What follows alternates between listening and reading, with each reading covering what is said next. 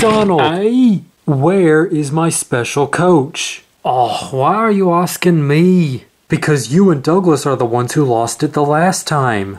Well, let me tell you, I haven't seen it. I'm sure it's still around here somewhere. No, Donald, you don't understand. This coach is special for a reason. It's not anything like any of the others. Ah, come on. How much trouble can a single coach get into?